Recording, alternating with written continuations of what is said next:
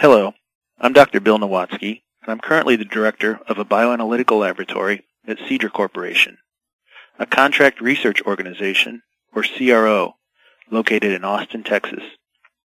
I've had pharmaceutical sciences positions in academia, industry, and CROs. And the most important distinction about working at a CRO is that you are a service provider. These services include managing clinical trials and providing bioanalytical support for innovator and generic pharmaceutical companies.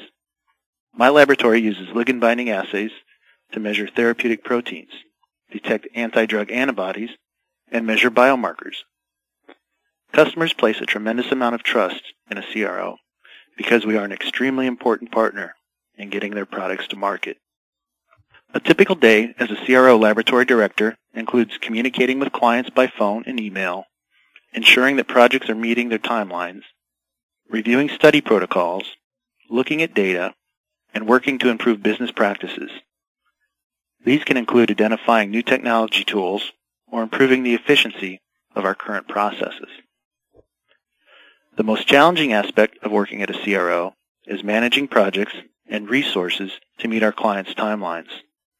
Our reputation relies on delivering what is promised to our clients on time.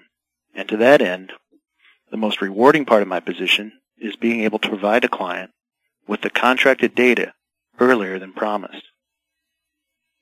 In the competitive world of pharmaceuticals, our clients are racing to get their safe and effective products to market before their competitors, a race which results in both the delivery of needed medicines to patients and potentially billions of dollars for the pharmaceutical company.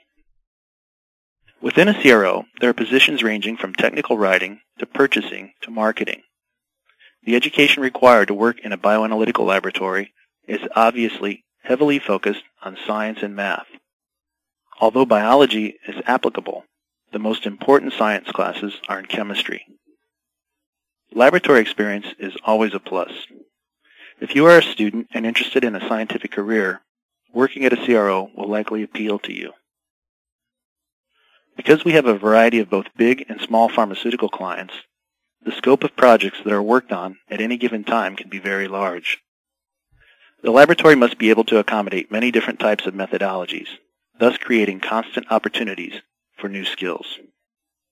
Joining AAPS is an excellent way of getting to know more about working in a bioanalytical laboratory that supports pharmaceutical drug development.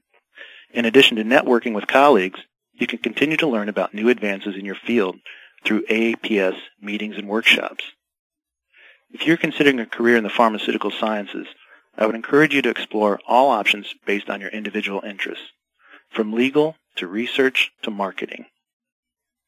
My career constantly offers me fresh challenges as well as rewards.